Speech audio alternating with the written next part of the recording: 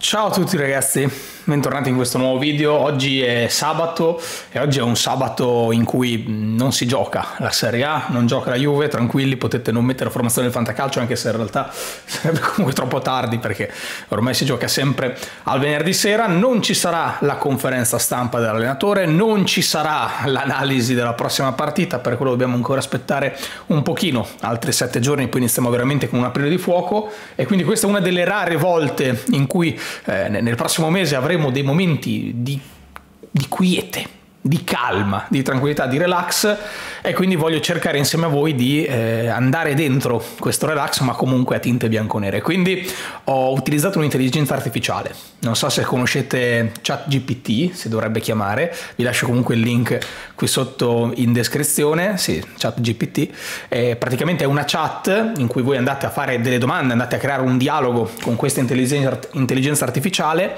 e tramite le informazioni che ha reperito, le, le notizie, le, le nozioni che ha appreso all'interno di quelle che sono le chiacchierate o comunque di testi che trova all'interno di internet va a scanagliare completamente, a scannerizzare internet e a trovare risposte, prova a costruire un dialogo insieme a te in base a quello che gli vai a chiedere. E io gli ho fatto delle domande sulla Juventus, è stato carino, dai, simpatico, una roba del genere. Eh, ho chiesto alla chat, all'intelligenza artificiale, alcune cose riguardanti la Juventus e vi voglio mostrare quello che mi ha risposto. Ovviamente potete provarci anche voi, è completamente gratuito e anzi, più iniziamo a parlare di Juventus a questa chat e più andiamo a migliorarla perché alcune cose, vabbè dai, non voglio spoilerarvi niente, passiamo alla prossima schermata. E quindi gli ho detto ciao e lei mi ha detto ciao, come posso aiutarti oggi? E gli ho detto puoi dirmi quando la Juventus vincerà la prossima Champions League? Io sono proprio partito con calma, con i piedi di piombo, sono andato umile e giustamente lei mi dice mi dispiace, ma non posso predire con certezza quando la Juventus vincerà la prossima Champions League o se lo farà mai. E qua mi è scesa una lacrima perché ho proprio detto ecco neanche sull'ipotetico, cioè la Champions League è una competizione molto competitiva ci sono molte variabili che possono influenzare il risultato di una partita. Anche le squadre che sembrano essere le favorite possono perdere in qualsiasi momento. Tuttavia, la Juventus, la Juventus, è una squadra molto forte e ha vinto la Champions League in passato, quindi potrebbe avere buone probabilità di vincere in futuro. Allora io gli ho chiesto, allora che cosa serve alla Juventus per vincere la Champions League? E lei mi ha fatto un elenco e mi ha stupito perché mi ha detto per vincere la Champions League, la Juventus ha bisogno di un insieme di fattori tra cui una squadra forte e ben equilibrata con un attacco potente e una difesa solida, un allenatore esperto e capace di guidare la squadra nel corso della competizione, una buona strategia di gioco che tenga conto delle forze e delle debolezze degli avversari, una buona dose di fortuna, poiché il calcio è uno sport in cui possono accadere imprevisti, una mentalità vincente e la capacità di affrontare la pressione delle partite decisive, una buona preparazione fisica e mentale per affrontare al meglio il calendario fitto della Champions League, un forte sostegno da parte dei tifosi che possono aiutare a spingere la squadra verso la vittoria. In sintesi, per vincere la Champions League, la Juventus ha bisogno di un mix di talento, esperienza, strategia, fortuna e determinazione. Ci rendiamo conto, ci ha messo un, un nanosecondo, eh? Io gli ho fatto la domanda e vedevo che me la compilava un mezzo secondo per scrivere una roba del genere. E allora io, dato che mi parlava comunque anche di, io gli ho detto, il progetto Next Gen della Juventus sta rendendo bene e qui iniziamo a scricchiolare perché mi ha risposto. Il progetto Next Gen della Juve è un'iniziativa che mira a sviluppare giovani talenti e a formare una nuova generazione di giocatori di alto livello. La Juventus ha investito molto in questo progetto costruendo un centro sportivo all'avanguardia e attirando alcuni migliori talenti giovanili in Europa e fino a qui ci siamo. Finora il progetto Next Gen sembra aver avuto successo con diversi giovani giocatori che stanno emergendo e avendo successo sia nella squadra giovanile che nella prima squadra. Ad esempio, giocatori come Dejan Kuluseschi, Matthijs Delite e Federico Chiesa sono stati acquisiti eh, dal progetto Next Gen e stanno avendo un impatto significativo sulla squadra. E qui inizia a non essere proprio. Tuttavia, il successo del progetto Next Gen non può essere misurato solo in termini di vittorie o di affermazioni dei giocatori, ma anche in termini di sviluppo a lungo eh, termine dei giovani talenti e della loro capacità di diventare giocatori di alto livello. In questo senso, il progetto Next Gen sembra essere sulla buona strada, ma solo il tempo potrà confermarlo. Quindi, una prima parte enciclopedica, una seconda parte in cui mi ha raccontato delle baggianate e una terza parte condivisibilissimo. Allora io gliel'ho fatto notare, ho detto attenzione però, la Next Gen è la seconda squadra della Juve, Chiesa, Delete e Kuluseschi sono stati acquistati sul mercato.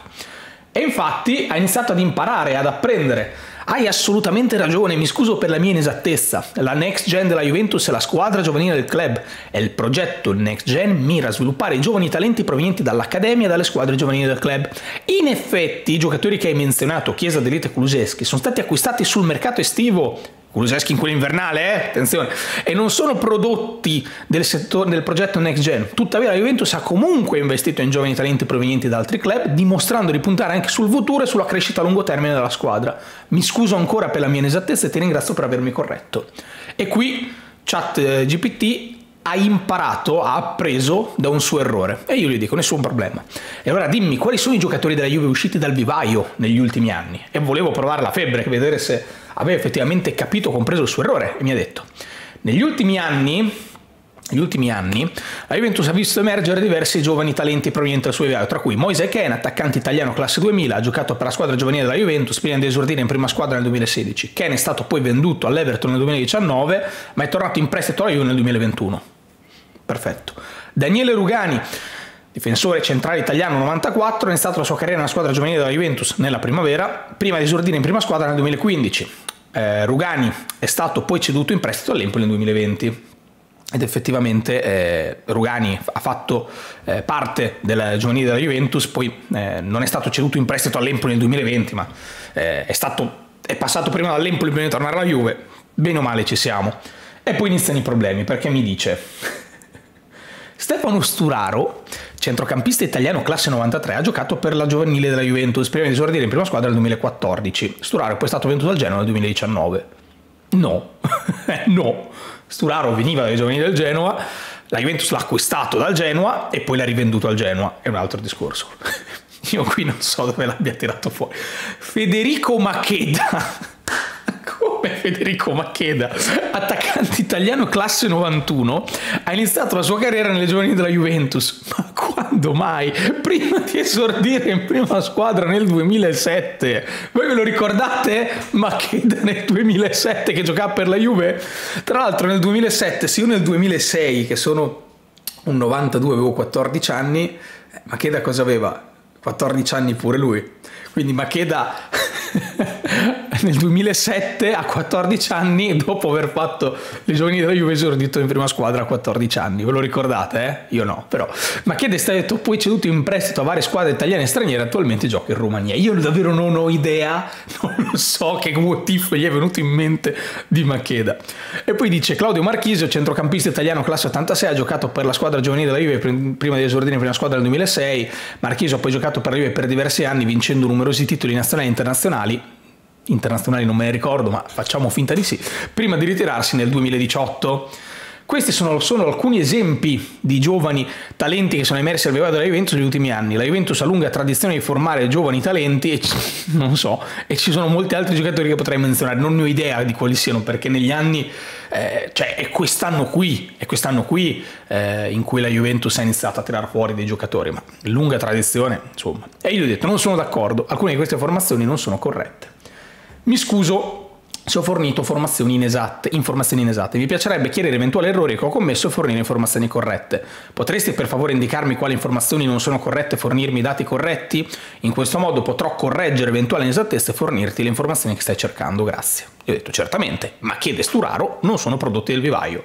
E dice, mi scuso ancora per la mia inesattezza. Hai ragione. Machede e Sturaro non sono prodotti del vivaio della Juventus. Federico Machede è cresciuto nel settore giovanile della Lazio, in seguito ha giocato per la squadra giovanile del United. Ha poi esordito per una squadra con lo United nel 2008 che non, non, mi sembra nemmeno nel 2008, però eh, va bene.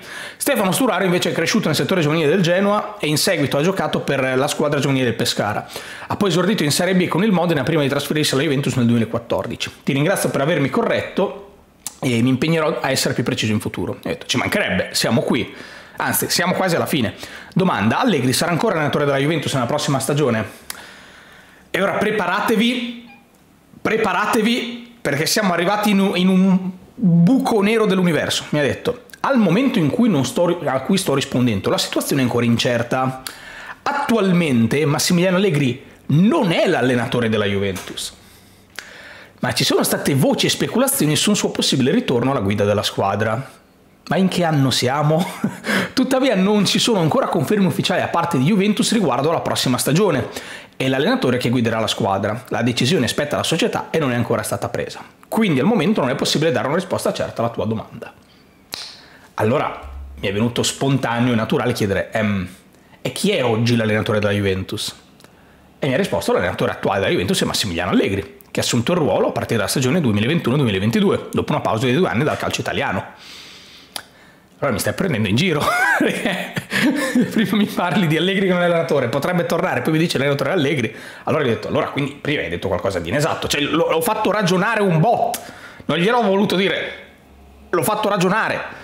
E, e, e, giustamente lui ha iniziato a contare con le dita e mi ha detto mi scuso per l'incomprensione quando ho risposto alla domanda precedente non ho considerato il fatto che la stagione attuale era già iniziata una supercazzola. E che Allegri era già stato ufficialmente nominato come allenatore della Juventus. Quindi sì, Allegri è attuale allenatore della Juventus. Grazie per avermelo fatto notare avermi permesso di chiarire la situazione. Cioè il bot qui ha ragionato ha messo insieme le due informazioni che ha dato lui e ha capito tramite la logica di aver detto un'eresia.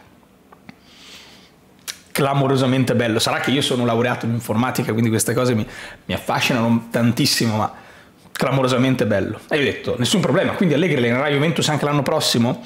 E mi ha detto, attualmente non ci sono ancora conferme ufficiali riguardo alla permanenza di Massimiliano Allegri come allenatore della Juventus per la prossima stagione. La società non ha ancora reso pubbliche le proprie decisioni in merito e ci sono ancora molte incertezze.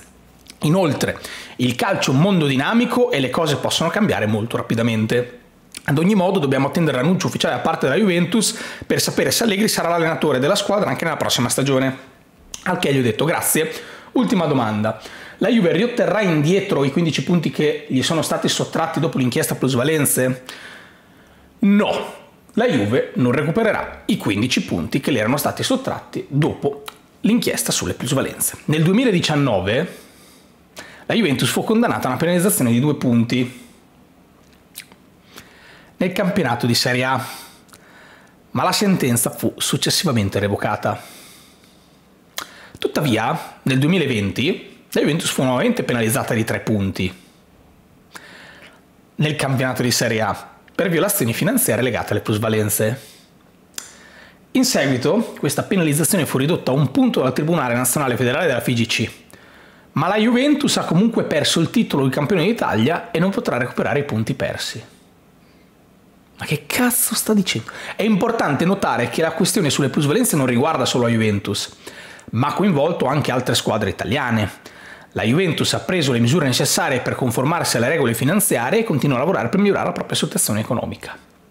Qua ha fatto un mischione di informazioni che ci sono state negli ultimi anni e probabilmente di informazioni relative al 2006, dove la Juventus ha perso il titolo di campione d'Italia. Ha messo tutto insieme.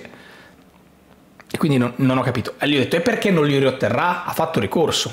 E mi ha detto, la Juventus ha presentato un ricorso contro la penalizzazione di tre punti. Sono 15, ma vabbè. Ma il Tribunale Nazionale Federale della FIGC ha ridotto la penalizzazione a un punto. C'è un rapporto 1 a 3, quindi praticamente eh, noi trarremo 5 punti di penalizzazione dopo il ricorso. Stando questa logica, questo ragionamento. Tuttavia la Juventus ha perso il titolo di campione d'Italia a favore dell'Inter che ha ottenuto più punti in classifica alla fine della stagione. Ancora? La storia si ripete. Ma quando è successa sta roba? Me la sono persa. Inoltre, la Juve ha ricevuto anche una multa di 10 milioni di euro. Ma quanto?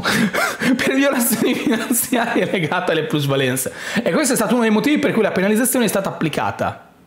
La penalizzazione è stata applicata perché abbiamo ricevuto una multa. Ok, in generale le sanzioni imposte dalla FIGC vengono applicate per punire le violazioni delle regole e preservare l'equità sportiva e la decisione, nazionale, eh, decisione del Tribunale Nazionale Federale della FIGC è definitiva, quindi la Juventus non potrà recuperare i punti persi a causa della penalizzazione. Al che gli ho fatto notare che stiamo parlando del 2023 e non del 2006. Cioè qua si era già fatto tutto, proprio anti-juventina pura, la chat GPT, aveva già fatto tutto e poi mi scuso per la confusione.